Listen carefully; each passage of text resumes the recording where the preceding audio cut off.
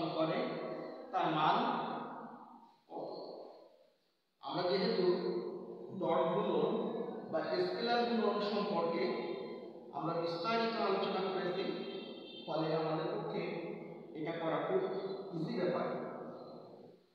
আচ্ছা যাই হোক, আমরা সেই সমাধানটা এখন করব। আমরা জানি ডট গুণনের ক্ষেত্রে আমরা জানি কোন বের করার সিস্টেম কেমন? আমরা ডট গুণনের সূত্রটা আগে আমরা লিখি। আমরা জানি ডট গুণন আমাদের ছিল কি? এ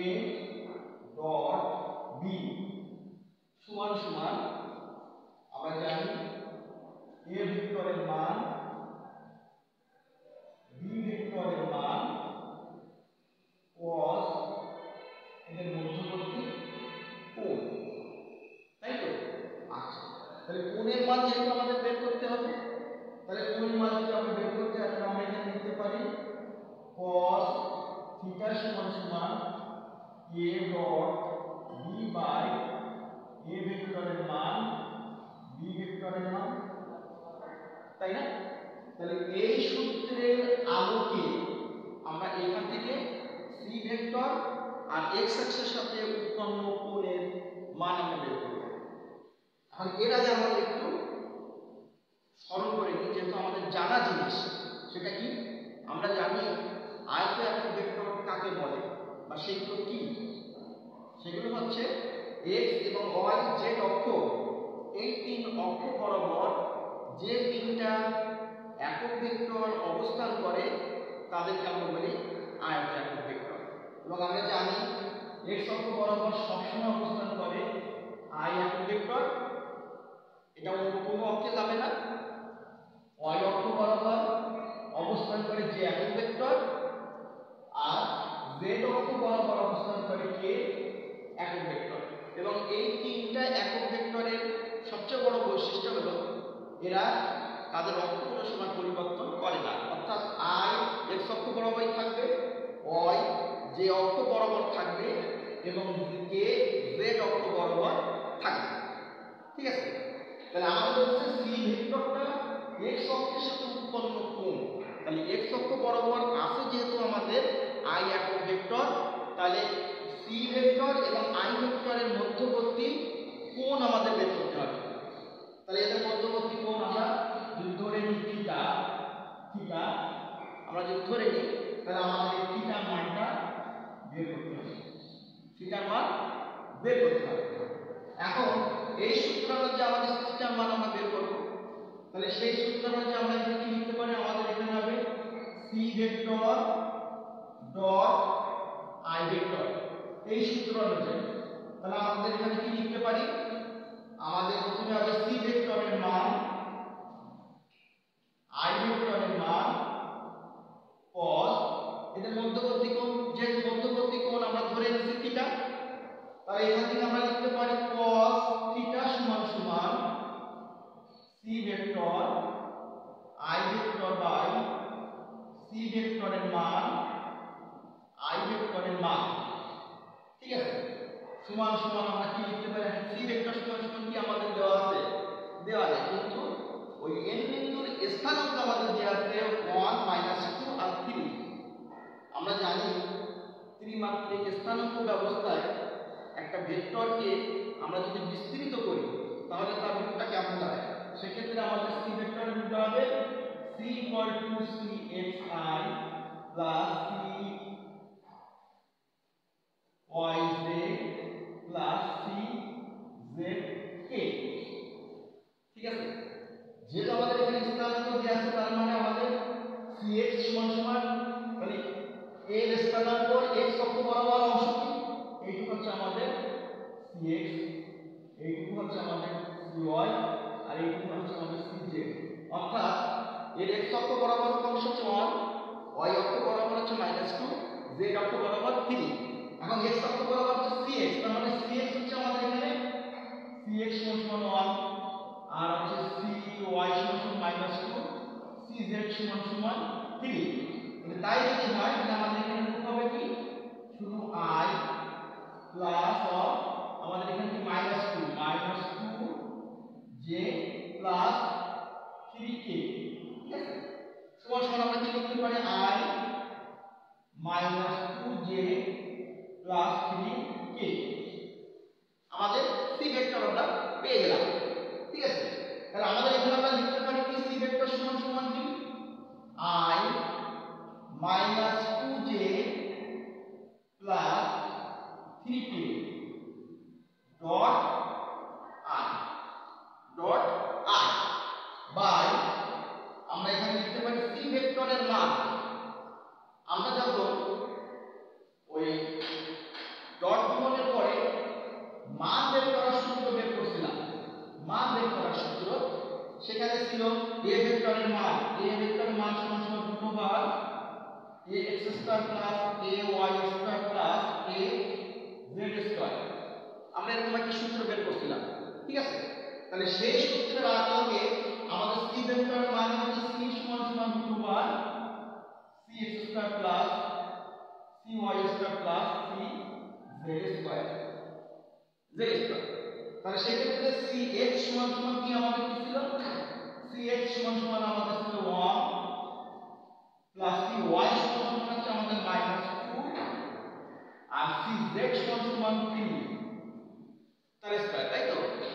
তাহলে এক্ষেত্রে আমরা এই মানগুলো যদি আমরা এখানে বসাই রুট ওভার ওয়ান স্কয়ার আর এখানে যদি আমরা যদি একবার করে নিই তাহলে ওয়ান প্লাস হচ্ছে দুই দুগুণি চার মাইনাস মাইনাস প্লাস হয়ে যায় প্লাস তিন তিনকে নয়। এইটা। ইনটু আই একক ভেক্টরের মান, আমরা জানি প্রত্যেকটা একক ভেক্টরের মান হচ্ছে এক একক। তাই তো?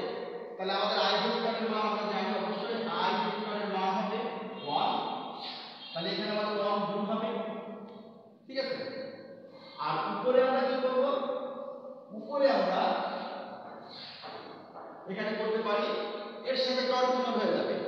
তার মানে dot i minus 2 into j dot i plus 3 into k dot i by এখানে থাকছে কত? নয় আর 10 আচ্ছা 14 অর্থাৎ রুট ওভার 14 ইনটু 1 সমান সমান, আমরা এখানে লিখতে পারি, আমরা জানি আমাদের সেই ডট গুণনের সূত্র থেকে আমরা জেনেছি যে i ডট i সমান সমান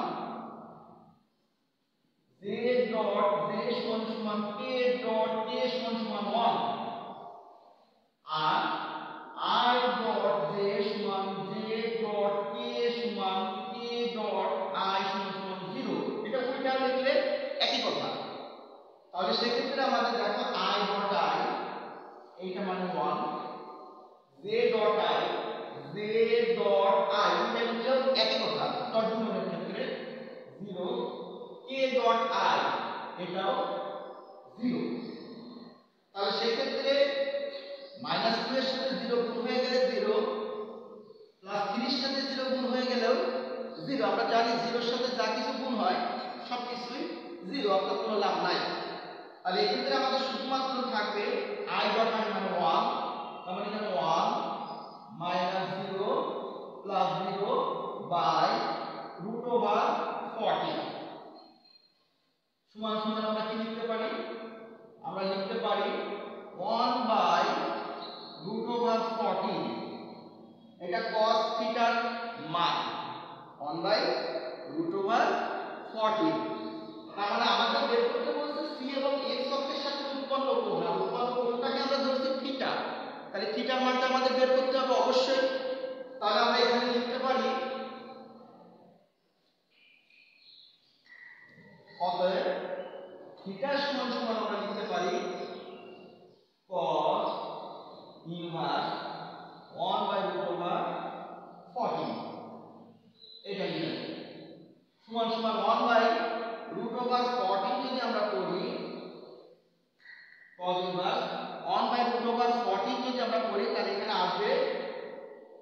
0.26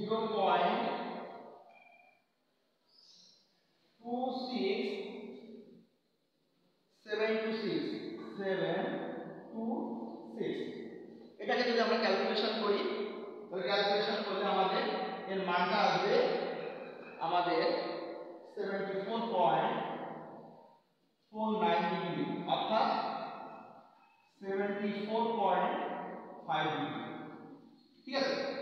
তাহলে আমাদের থিটার মানটা আমরা খুব সহজে আমরা বের করতে পারলাম। আচ্ছা যাই হোক।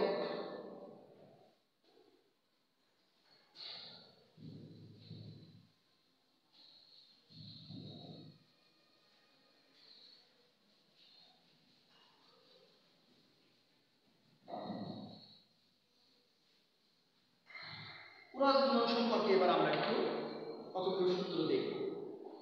যেমন আমরা ডটগুলো দেখেছিলাম i dot i equal to z dot z equal to k dot k সমান সমান 1 i dot z equal to z dot k equal to k dot i equal to 0 ঠিক ওরকম আমরা ভেক্টর গুণনের ক্ষেত্রে দেখব। i cross i equal to j cross j equal to k cross k সমান সমান 0 এটা তাহলে এর একটা আমরা দেখব বাকিগুলো তোমরা বাসায় খুব সহজেই করতে পারো আচ্ছা যাই হোক আমরা একটা দেখি i i cos i সমান সমান কি হবে আমরা যখন ভেক্টর গুণনটা পড়েছিলাম অর্থাৎ ক্রস গুণন তখন কিন্তু আমরা সূত্রটা পেয়েছিলাম কি a cross b equal to একক ভেক্টর ab sin থিটা অর্থাৎ a কি বলতে a ভেক্টরের মান b ভেক্টরের মান তাই তো আচ্ছা তাহলে আমাদের এখানে এটাকে আমরা যদি a ভেক্টর ধরি এটাকে যদি b ভেক্টর ধরি, এটাকে এ ভেক্টর ধরলাম, এটাকে b ভেক্টর ধরলাম। তাহলে আমাদের ওই সূত্রে ফেলে দিব। তাহলে ওই সূত্র অনুযায়ী হবে কি? একক ভেক্টর a ভেক্টরের মান i মানে এখানে i টা হচ্ছে আমাদের a ভেক্টর হিসেবে ধরছি। আচ্ছা আবার হচ্ছে b ভেক্টর হিসেবে আমাদের i i ভেক্টরের মান sin মধ্যবর্তী আমরা খুব ভালোভাবে আয়ত একক ভেক্টরগুলো সম্পর্কে আমাদের ধারণা আমরা জানি এক্স অক্ষ ওয়াই অক্ষ জেড অক্ষ। এক্স অক্ষ বরাবর আছে i y অক্ষ বরাবর আছে j z অক্ষ বরাবর আছে k তিনটা ভেক্টর এবং তিনটা ভেক্টর কখনো তাদের অক্ষ পরিবর্তন করবে না অর্থাৎ x অক্ষ বরাবর i y অক্ষ বরাবর j z অক্ষ বরাবর k তাহলে আমাদের দুইটাই i একক ভেক্টর তাহলে দুইটাই এক i ভেক্টর তাহলে দুইটা i ভেক্টর কি একটা x অক্ষে আর একটা y অক্ষে বা z অক্ষে যাবে কখনোই না আমাদের তাহলে দুইটা i ভেক্টরই x অক্ষ বরাবর থাকবে আর x অক্ষ বরাবর এখানে তিনটা বা চারটা হতে পারে না বা দুইটা হতে পারে না একটাই আছে যেহেতু আমাদের একটাই x অক্ষ আছে ফলে দুইটা i ভেক্টর অবশ্যই x অক্ষ বরাবর থাকবে আর যখন দুইটা ভেক্টর একই অক্ষ বরাবর থাকবে, তখন তাদের মধ্যবর্তী কৌণিক ব্যবধানটা হবে শূন্য ডিগ্রি। অর্থাৎ এই ক্ষেত্রে থিটার মানটা হবে শূন্য ডিগ্রি শূন্য ডিগ্রি। তাহলে তাই যদি হয় আমাদের সাইন জিরো ডিগ্রি সমান সমান আমরা জানি সাইন জিরো ডিগ্রির মানটা অবশ্যই জিরো আমরা এর আগের ক্লাসে কোণের মান বের করার সূত্র আমরা তোমাদেরকে খুব ভালোভাবে দেখিয়েছি তো যাই হোক, আমরা জানি একক ভেক্টর i একক মান অবশ্যই এক, আমরা সেটাও জানি। আবার এই একক ভেক্টর এরও মান হচ্ছে আমাদের এক, তাও আমরা জানি, আর আমরা জানি, sin 0 ডিগ্রির মান অবশ্যই zero zero sine zero degree মানে জিরো আর আই একক ভেক্টরের মান ওয়ান এগুলো আমরা জানি। তাহলে তার উপরে ভিত্তি করে আমরা যদি এখানে বসাই, তাহলে দেখো জিরোর সাথে যা কিছু দুনিয়ার যত কোটি কোটি লক্ষ লক্ষ গুণ হোক না কেন সব কিছু আমাদের শূন্যই হয়ে যায় বা জিরো হয়ে যায়। তাহলে আমাদের সেই অনুপাতে আমাদের এটা জিরো হয়ে গেল। তাহলে যেহেতু আমরা জানি যে দুইটা ভেক্টরের ভেক্টর গুণন বা ক্রস গুণনের ফলাফল অবশ্যই একটা ভেক্টর রাশি এবং ভেক্টর রাশির মান এবং দিক আছে। তাহলে আমাদের এইটা অবশ্যই কিন্তু একটা ভেক্টর হবে যদিও তার মান শূন্য। আর শূন্য ভেক্টরকে আমরা অবশ্যই বলে থাকি সেটা নাল ভেক্টর বা শূন্য ভেক্টর। তাহলে এটা যেহেতু শূন্য ভেক্টর, তাহলে এটাকে আমরা শূন্য হিসাবেও দেখাই। ঠিক আছে? আচ্ছা তাহলে অনুরূপভাবে আমরা এইটা এবং এইটা, এই দুটো করে ফেলতে পারব, এবং এই দুটো তোমাদের বাড়ির কাজ থাকবে। আমি আশা করি তোমরা অনায়াসে সহজে এই দুটোর মান দেখাতে পারব। আচ্ছা আমরা এবার আসব ব্যতিক্রমগুলা ব্যতিক্রমগুলা অর্থাৎ ব্যতিক্রম বলতে কি? ব্যতিক্রম হচ্ছে i cross j j cross k k cross i এরপরে উল্টায় যদি দিই, আমরা জানি ডট গুণনের ক্ষেত্রে উল্টালে কোনো পরিবর্তন হয় না কোনো সমস্যা হয় না। কিন্তু ভেক্টর গুণনের ক্ষেত্রে বা ক্রস গুণনের ক্ষেত্রে যদি আমি উল্টায় দিই, তাহলে এখানে অনেক পরিবর্তন অর্থাৎ সাইন পরিবর্তন হয়ে যায় তাহলে সেই ক্ষেত্রে আমাদের এখানে লিখতে পারি j cross i k cross j i cross k? এইগুলো সমান সমান কি হতে পারে? তাহলে আমি এখানে একটা দেখাই। I cross j. ঠিক ওই সূত্র অনুযায়ী এখানে আমরা এ ধরলাম, এটাকে ধরলাম আমরা বি। তাহলে তাই যদি হয়, তাহলে আমরা এখানে একক ভেক্টর আই ভেক্টরের মান জে ভেক্টরের মান সাইন এদের মধ্যবর্তী কৌণিক ব্যবধান। এখন আই আর জে এর মধ্যবর্তী কৌণিক ব্যবধান কত নিশ্চয়ই প্রত্যেককে প্রত্যেকের উপরে লম্ব, আমরা জানি আই অক্ষ জে ওয়াই অক্ষ আর জেড অক্ষ প্রত্যেকে প্রত্যেকের সাথে লম্বভাবে আছে। তাহলে লম্বভাবে থাকলে নিশ্চয়ই নব্বই ডিগ্রি এদের মধ্যে কৌণিক ব্যবধান তাহলে আমাদের নব্বই ডিগ্রি থিটার মানটা তখন হবে? নব্বই ডিগ্রি। থিটার মানটা নব্বই ডিগ্রি। তাহলে নব্বই ডিগ্রি। এখন আমরা জানি সাইন নাইনটি ডিগ্রি মান কত? ওয়ান। আবার প্রত্যেকটা একক ভেক্টরের মান কত? ওয়ান। যে একক ভেক্টরের মানও ওয়ান।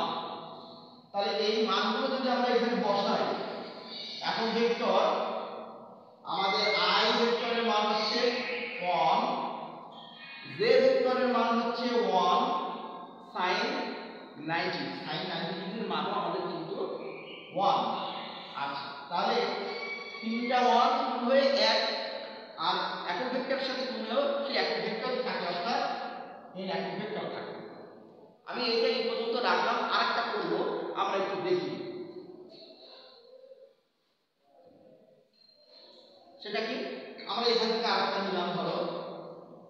জে ক্রস কে একইভাবে একক ভেক্টর জে ভেক্টরের মান কে ভেক্টরের মান সাইন জে আর কে মধ্যবর্তী কোণের ব্যবধান, সেক্ষেত্রেও 90 ডিগ্রি অর্থাৎ সাইন 90 ডিগ্রি তার মানে সাইন 90 ডিগ্রি মান 1 জে এর মান 1 কে এর মান 1 তার মানে একক ভেক্টর 1 1 1 ঠিক আছে? তাহলে আমাদের এখানে আবার থাকছে আমাদের একক তাহলে দেখো, i ক্রস j করেও আমাদের এর একক ভেক্টর j ক্রস k করেও আমাদের একক ভেক্টর এর পাচ্ছে। আমাদের এখানে যতগুলোই করব সবগুলোর ক্ষেত্রে কিন্তু আমাদের ওই এন একক ভেক্টর পাচ্ছে। তাহলে কি? যা কিছু করি না কেন, ওই একই রেজাল্ট না। আমাদের দেখা গেল, উদাহরণ হিসাবে বলি, যে দুটো প্রসিদ্ধ খুব নাম করা দুটা দোকান বা দুটা স্থান। একই জায়গায় অবস্থিত। এখন অপরিচিত কোনো লোক যদি আসে, সেটা দেখা খুব গলির ভিতরে। তাহলে গলির মাথায় মেন রোডের ওইখানে সাইনবোর্ড দেওয়া থাকে যে এইদিকে ওই মুখে পাওয়া যাবে। আবার যখন দেখা গেল যে এক নম্বর দোকান, সেটা আমি খুঁজছি, সেটা দেখা গেল যে এই গলির ভিতরে যান এক নম্বর দোকানটা পাবেন তীর দিয়ে দেখা। আবার আর একজন দুই নম্বর দোকানটা খুঁজছে, সেটা পাশাপাশি বা কাছাকাছি। ওই একই গলির ভিতরে। তাহলে তারও ক্ষেত্রে এরকম তীর দেওয়া আছে গলির ভিতরে যান তাহলে কি দুইটাই কি একই দোকান নিশ্চয়ই না। আমরা দেখাচ্ছি এই দুইটা, কিন্তু দুইটা আলাদা জিনিস। কেমন আলাদা জিনিস? আমরা যখন ভেক্টর গুণ করেছিলাম, এ ভেক্টর, বি ভেক্টর, এটা শূন্য বিন্দু। তাহলে আমাদের এখানে বলছিলাম যে দুইটা ভেক্টর গুণ করে ফলাফলটা একটা ভেক্টর রাশি হয়েছিল। সেই ভেক্টর রাশির মান এবং দিক ছিল। দিকটা কি ছিল? দিকটা ছিল ওই দুইটা ভেক্টর যে বিন্দুতে ক্রিয়া করছিল সেই বিন্দুতে ওদের যে তল, সে তলের উপরে লম্ব বরাবর প্রথম ভেক্টর থেকে দ্বিতীয় ভেক্টরের দিকে যদি আমরা একটা ডান পাখির স্কুলকে ঘুরাই, তাহলে যেদিকে অগ্রসর হবে সেদিকে তার মানে এটা যদি ডান পাখি ঘুরাই তুলে বের হয়ে আসবে বাইরের দিকে। অর্থাৎ বোর্ডের তল বরাবর যদি দুইটা ভেক্টর থাকে তাহলে বোর্ডের তল বরাবর বাহিরের দিকে হবে তার দিক অর্থাৎ ওদের তলের লম্ব বরাবর। তাই তো? তাহলে আমাদের এখানে আছে প্রথমে আই আর জে আই আর জে তাহলে এদের তলের লম্ব বরাবর যে ভেক্টরটা, তাকেই নির্দেশ করে এই একক ভেক্টর। অর্থাৎ একক ভেক্টরটা আছে, দিক নির্দেশ করতেছে প্রকৃত ভেক্টরে। তাহলে প্রকৃত ভেক্টর কি? এদের তলের লম্ব বরাবর আমাদের একটাই একক ভেক্টর আছে, যে হচ্ছে কে ভেক্টর। তাহলে এই কে ভেক্টরকে এ নির্দেশ করে। তার মানে এটা সমান সমান আমরা লিখতে পারি কে ভেক্টর। আবার এর ক্ষেত্রে আমরা কি লিখতে পারি? এদের তলের লম্ব বরাবর জে আর কে। জে আর কে এর তলের লম্ব বরাবর আছে, x অক্ষ। এবং x অক্ষ বরাবর যে একক ভেক্টরটা আছে তাকেই নির্দেশ করছে এবং সেই একক ভেক্টরটা হচ্ছে আমাদের i তাহলে আমরা এখানে লিখতে পারি i ঠিক আছে আচ্ছা এখন এইগুলো আমরা একটা সূত্রের মাধ্যমে খুব ইজি ভাবে বের করতে পারি। সেই সূত্রটা কি? সূত্রটা হলো এরকম এই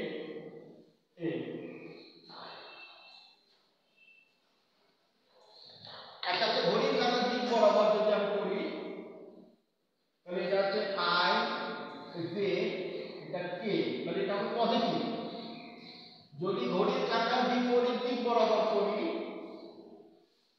তাহলে এটা হবে নেগেটিভ এটা হচ্ছে আই জে কে তাহলে দেখো প্রথমে হবে i cross j i cross j ছিল প্লাস কে আমি কি প্লাস কে পেয়েছি পেয়েছি যদি হয় আমাদের জে ক্রস কে অর্থাৎ j cross k j cross k করলে আমাদের থাকবে প্লাস আই দেখো প্লাস আই কে আমি পেয়েছি প্লাস আই পেয়েছি তাহলে এটা হচ্ছে আমাদের কে এটা হচ্ছে আই আচ্ছা এবার k cross i k cross i বাকি থাকবে প্লাস জে তার মানে এখানে থাকবে প্লাস জে ঠিক যদি ঘড়ির কাঁটার বিপরীত দিকে যায় আমি তাহলে সেক্ষেত্রে আমাদের হবে দেখো তো j cross i j cross i থাকবে মাইনাস কে এটা হবে মাইনাস কে? আচ্ছা এরপরে যদি আমি k cross i, k cross i যদি যাই যে কে ক্রস জে যদি যাই, তাহলে আমাদের থাকবে মাইনাস আই মাইনাস আই। এরপরে i cross k? I cross k ঘড়ির কাঁটার দিক বিপরীত দিকে, তাহলে থাকবে মাইনাস জে, এটা হবে মাইনাস জে। তাহলে আমাদের এইভাবে আমরা এই মানগুলো বের করতে পারব। শিক্ষার্থীরা, তোমাদের শুভ কামনা করে সবাই সুস্থ থাকো, আল্লাহ পাকের কাছে সেই কামনা করি। আজকে তোমাদের এখানে শেষ করছি, আল্লাহ হাফেজ। আগামী ক্লাসের আমন্ত্রণ থাকল, আল্লাহ হাফেজ।